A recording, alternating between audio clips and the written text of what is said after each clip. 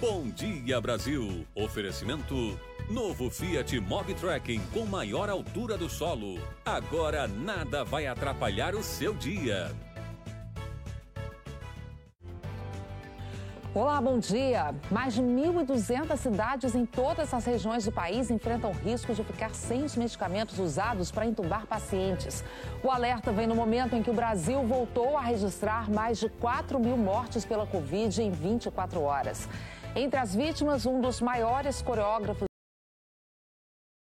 campeã da São Silvestre.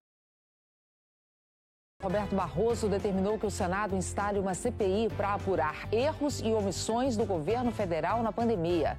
Por ampla maioria, o STF decidiu que estados e municípios podem proibir cultos e missas presenciais para evitar o contágio pelo coronavírus. O vereador Doutor Jairinho e Monique Medeiros, mãe do menino Henri, passaram a primeira noite na cadeia no Rio. Mensagens de celular indicam que Monique sabia das agressões contra o filho.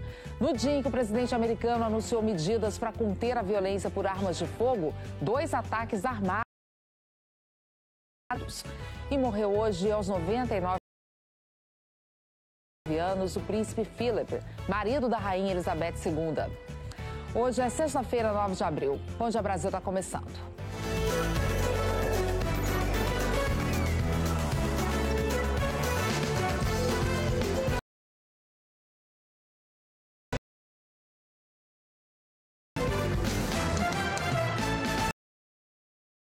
Os principais investigados pela morte do menino Henrique, de 4 anos,